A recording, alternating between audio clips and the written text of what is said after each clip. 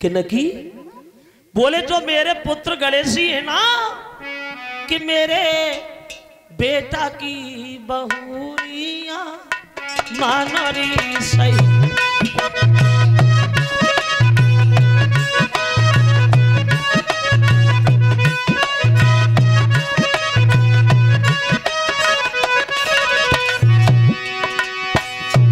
ये हमारे पुत्र गणेश जी की पत्नी है।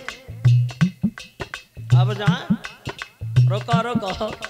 पार्वती लगता है, शादी खूब दे के बाहर करिए। बहू अपन से लंबी ढोली बोले और का कहूँ बाहर की थोड़ी। गोपी बोली, अरे कर लई शादी, अपन लला की खबर लो नहीं भिजवाई।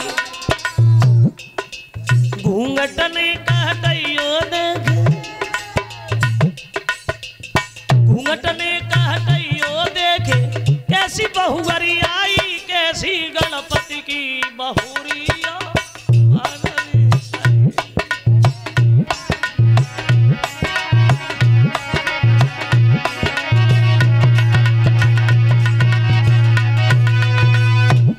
बोली अगर बा नहीं बुलाया, कोई बात नहीं यहाँ आई गई, उन्हें घूंघट ऊपर को चका हमी देखे कैसी गणेश जी की पत्नी है। पार्वती सोचने लगी आई अब का गए एकदम से फिर बात बदल गई। हाँ घर पे आ गई, यहाँ देख रहे तू, यहाँ नहीं देख रहे दूँगी भाई आना और शंकर जी का हाथ पकड़ा, पार्वती जो है, वो अंदर घुस गई। अब पार्वती तो महाराज देखने लगी, बैठ करके। अब भोले बाबा घूंघट मारे बैठे हैं। महाराज देख नहीं पा रहे। घूंघट नीचे से ऊपर को चकाता से पार्वती झटका देती, नीचे न करो तो बड़े परेशान। महाराज देखे भी गए देख ही नहीं पा रहे। एक नज़र भोले बाबा की पड़ गई कन्हैया के ऊपर जो गोपियों के साथ नाच रहे थे। और जो कन्हैया को नाचत वो देखो, शंकर जी ने घूंघट मारो, बैठ के सोचने लगे, बारे करिया ओरे तो में बड़ा गुण भरे। कैसे नाच रहो ऐसा लगता है गोपियाँ पागल कर ली इसने। अब बैठे बैठे भोले बाबा मन में सोच रहे कि करिया करिया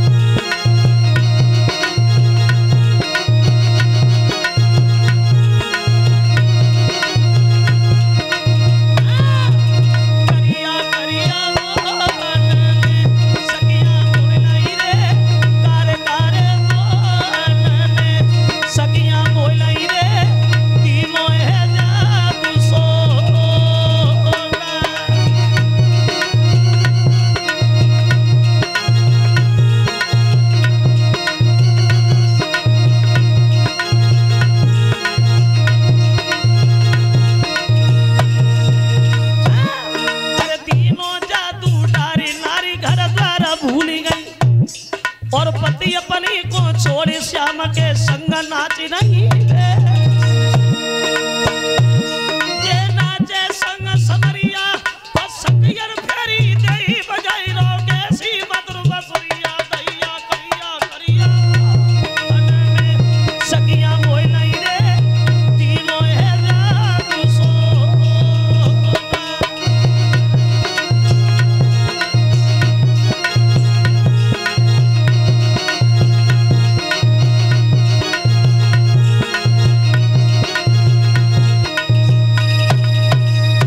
चैन आयो नाथ को अब सुंदर छटा निहारी, सोई डमरूली नो हाथ में बसाड़ी धरी उतारे।